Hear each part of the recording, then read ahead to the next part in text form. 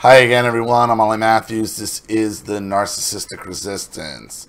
And this resistance video is sponsored by contributions from June, and here's her story. Hi, Ollie. I'm hoping you can do a video for me about another narc in my family of origin. He's the bio dad, but I like to call him Alien. I've written about my mother and a sibling, and now it's this guy's turn.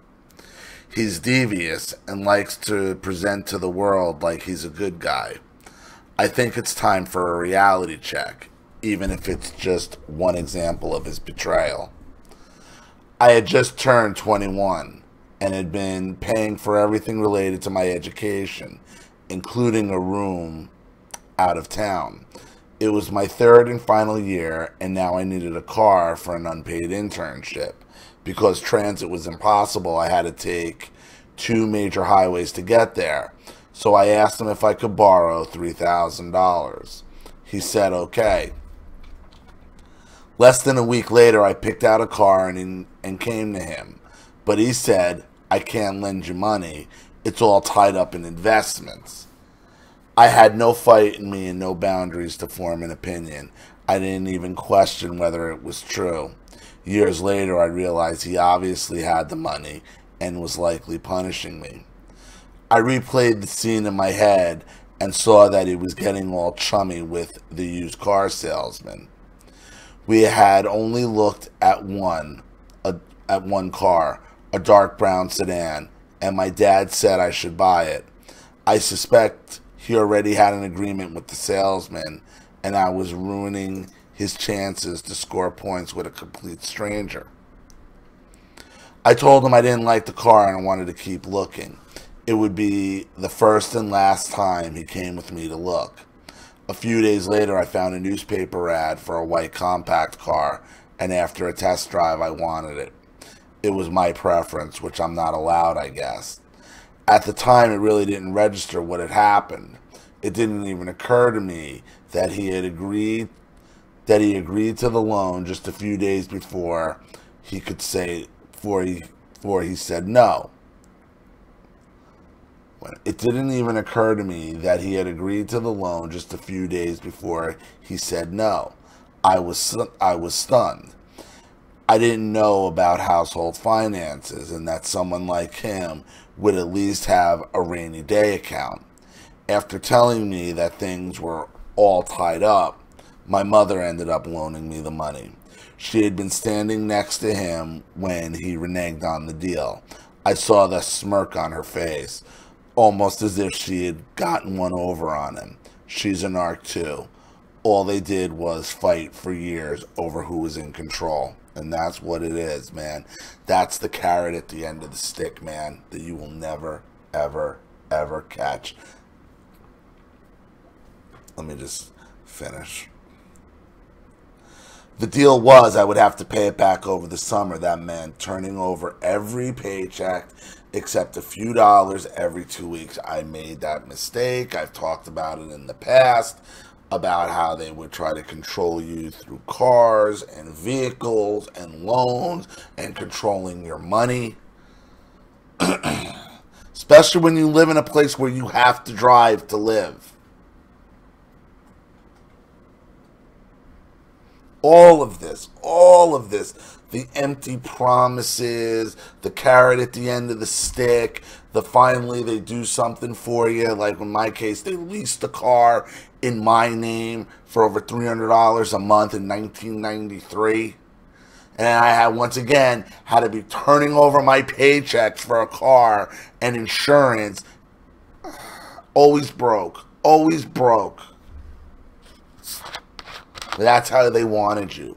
That's how they want you. Always broke. Because that's how they can control you. They control your your your ability to drive, they control your finances, they control you.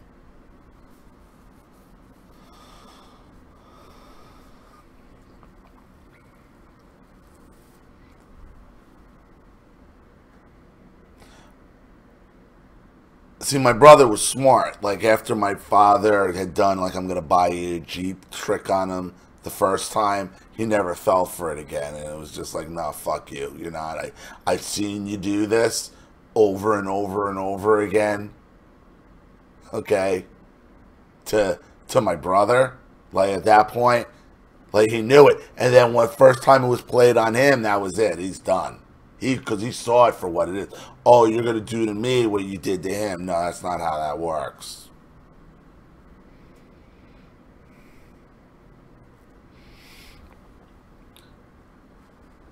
I was obedient, so much so that I remember when a friend urged me to go to a club, I said no because the $5 cover charge is unbelievable. You have to obsess and worry about being worry about being humiliated over a $5 cover charge. I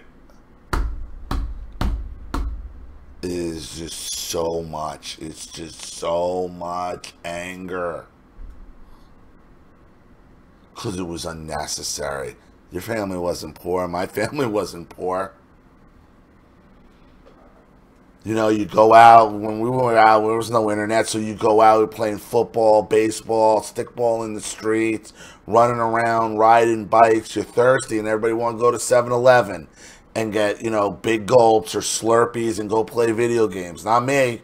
Well, I could go, but I had I got to watch everybody get everything.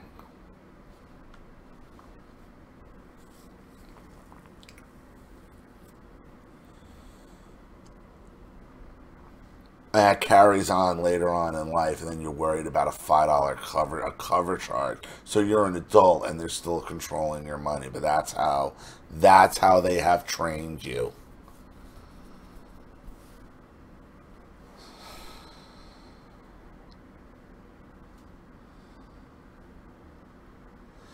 I should mention that he was cheap, mortgage free, and liked to count his money. He used to keep a black binder with all his mutual fund statements. And when I was in my 40s, he would often show them to me. This example with the car isn't the darkest story I have about his relationship with money and betrayal, but you get the idea. Anyway, I'm grateful as always to get this off my chest. You do good work, and I thank you. Hope the lockdown measures end soon. Take care, June. I just want to keep you broke. They just one narcissist wants to keep you broke. Keep you broke to keep you in control. The carrot at the end of the stick. I mean, it's every tactic. Every tactic that I that, that I experienced and you know, it's just over again. Over and over again. It's like it's not even it's not it's not even surprising. It's not even surprising. So I hope that helps. Thank you so much for another contribution and Story June.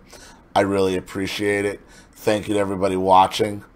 Please leave any opinions or advice in the comment section below. And again, if you want your story read on the channel, you have a topic you'd like me to cover, a narcissist you'd like to expose, you'd like to have a private video made, or you'd just like to make a contribution to the channel in general to keep it supported, growing, and successful, because this channel survives 100% on contributions from all of you. Without you guys, all this goes away.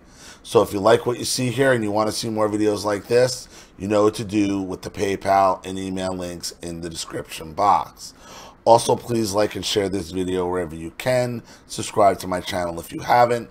And be sure to click the subscription bell to be notified of all my video uploads. Also, be sure to follow me on the LBRY backup app as well. I'm Ollie Mathews. This has been the Narcissistic Resistance. Take care.